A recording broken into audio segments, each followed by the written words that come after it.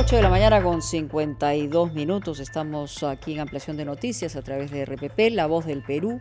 Fernando Carballo, Carlos Villarreal y quien habla Mónica Delta.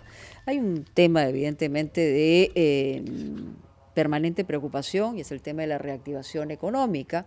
Y uno de los sectores eh, importantes es el sector exportador de nuestro país, que ha sido afectado, como todos los sectores en niveles económicos, de una manera determinante en esta pandemia. Pero queremos saber en qué estamos.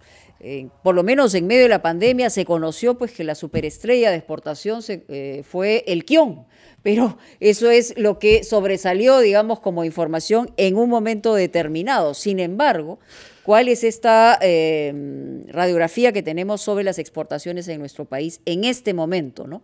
El ingeniero Julio Pérez, vicepresidente de ADEX, está con nosotros para hablar de eh, este tema. Y quisiera eh, de manera rápida que nos dé la foto del momento, o sea, cómo estamos en relación a nuestras exportaciones. Correcto. Buenos días, Mónica, Fernando, Carlos. Efectivamente, las exportaciones han sufrido, como todo el país y como todo el mundo, ¿no? Eh, ha habido una caída drástica y al séptimo mes del año, fines de julio, estamos con un decrecimiento de 24.2% respecto al 2019. ¿no? 24.2%. Sí, negativo. y, pero la caída más grande fue en abril, con 50.6.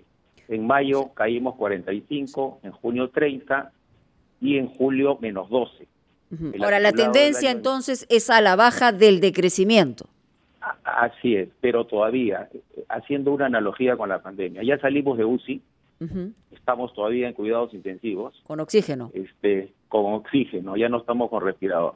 Entonces, el ritmo de la recuperación de nuestros principales mercados es una llave importante, así como la suma de esfuerzos públicos y privados. Esos dos factores van a ser, eh, si, si son bien trabajados, van a ser si podemos recuperarnos más rápido o más lento, ¿no? Depende de otros países, dependiendo de otros países. Señor, eh, buenos días. Usted eh, tiene un tema particular con la orfebrería, es decir, con la posibilidad de que exportemos más un oro transformado en joyas. ¿Puede darnos los datos? ¿Qué proporción del oro sale en lingotes y qué proporción sale ahora transformado por nuestros artesanos? Sí, acá eh, me quiero detener un momento porque es un sector al que tenemos que darle pues un, gran apoyo, ¿no?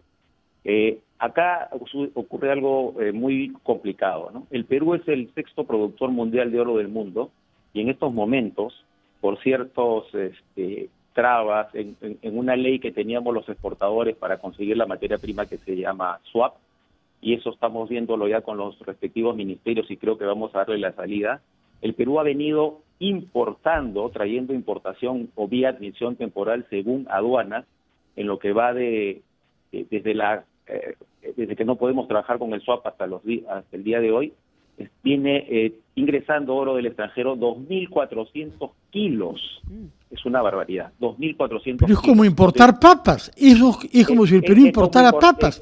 Eh, exactamente. Entonces es una aberración que eso se tiene que se tiene que, que se tiene que arreglar y como digo estamos trabajando con los respectivos organismos.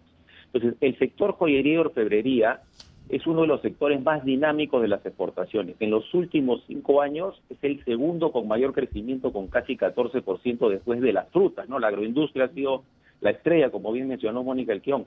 Entonces, las frutas, después de la, del subsector de frutas, la joyería y orfebrería ha sido el, que provee más dinamismo a la economía. Y eh, para aclarar un poco más el panorama, el sector mundial de joyería y orfebrería representa un valor de 250 mil millones de dólares. Y Fernando me preguntaba, ¿qué valor transformamos nosotros? De las 130 toneladas que el Perú exporta de joyería, casi el solo transformamos el 2.5%. Y el mercado natural de las joyas, del, del oro son hacer joyas, ¿no? Entre 50 y 70% de todo el oro del mundo ha, estado un vaivén durante los últimos dos años. Entre 50 y 70% del oro de todo el mundo se destina para hacer joyas. Entonces nosotros, un país productor de oro, no podemos estar, digamos, importando el oro y solo transformar el oro nacional en un nivel tan bajo de 2.5%. ¿no? Señor, Pero nuestros... Sí, perdón. Sí, Carlos. Señor Pérez, eh, para tener una idea de la dimensión de lo que significa la orfebrería en el país, eh, aproximadamente cuántos eh, puestos de empleo genera, ya sea directos e indirectos. ¿Cuáles son los principales centros o, ciudades en el país considerados centros joyeros en este tema? Los centros joyeros, los principales centros joyeros los tenemos en Huancayo, en Catacaos, en Cusco, en Puno y Lima, ¿no? más o menos el sector eh, abarca unos 30.000 familias y ha venido en constante crecimiento. Y hay que aprovechar la, la, oportunidad que se da en este momento. Es una este, oportunidad de oro. La demanda internacional por joyas, al subir el precio de tanto del oro como de la plata, se ha incrementado. ¿Por qué? Porque la gente se refugia en oro en una situación de crisis.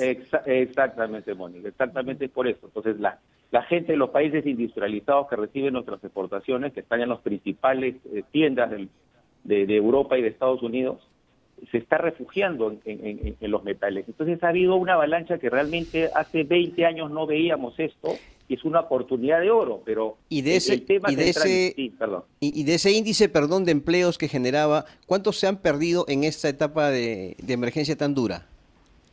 Eh, se han se han perdido por lo menos un 30%. Y yo, y, yo digo, bueno, y están en congeladora este otro 20%. ¿Por qué? Porque esta gente que se dedicaba, hablo de los pequeños talleres, Pérez, no de las industrias grandes exportadoras, se está dedicando a otra cosa, ¿no? A, vender mascarillas, a vender este, insumos este, de limpieza, etcétera, etcétera, por, por, por la pandemia.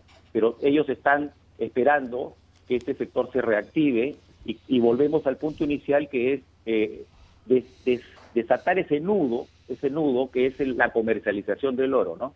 Ese es, ese es un tema central. Y justo venimos trabajando con el MES para la creación de la Mesa Ejecutiva de Joyería y Orfebrería, que es un órgano que va a permitir que este sector llegue a los niveles que realmente el país necesita. La joyería y orfebrería puede crecer entre 5 y 10 años a niveles de exportaciones de mil millones de dólares.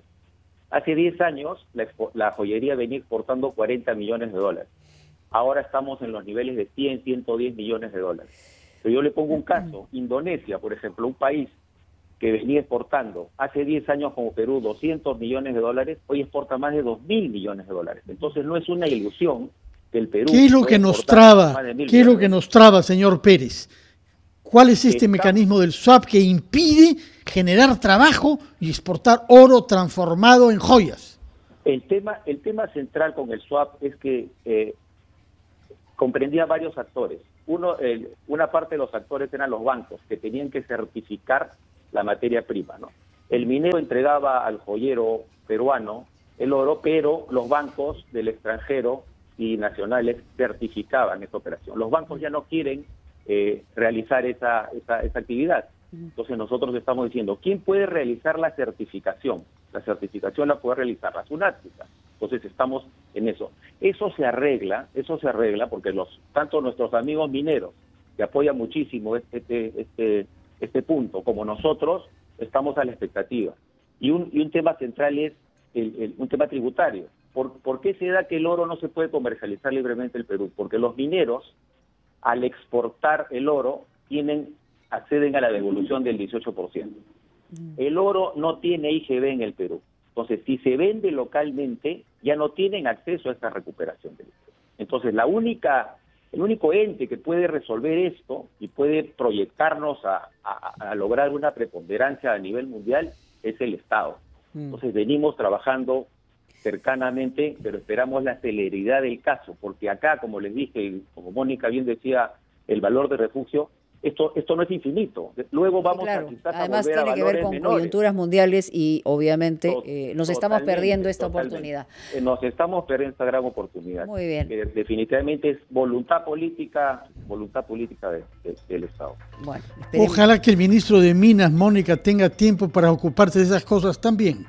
Sí, claro, evidentemente. Más es el MEF y la SUNAT, más es, el MEF y la SUNAT, ahí estamos. O sea, el MEF y la SUNAT, está en la cancha del MEF y la SUNAT. Bueno, esperemos que, que, rápidamente eh, tomen oídos, pero también el ministro del sector, por supuesto, y se esté de, todas maneras, exceptuado de, la circunstancia y la coyuntura política a través de chats y mensajes. Y para, y para terminar, vamos a realizar el quinto Congreso Internacional de Joyería que iba a ser en Cusco, que iba a ser Hace dos años fue en Arequipa, fue un evento multitudinario. Ahora iba a ser en Cusco, pero debido a la pandemia vamos a tener, tener que hacerlo virtual, ¿no? Y acá invitamos a muchísimos este, expositores extranjeros de las potencias de joyería, Turquía, Italia, eh, Brasil, etcétera, etcétera. Es muy enriquecedor y esto nos ayuda a elevar el nivel de nuestra joyería de exportación y la joyería nacional. Muchas gracias a Julio Pérez por estar con nosotros aquí en Ampliación de Noticias. Vamos a titulares, gran resumen y regresamos.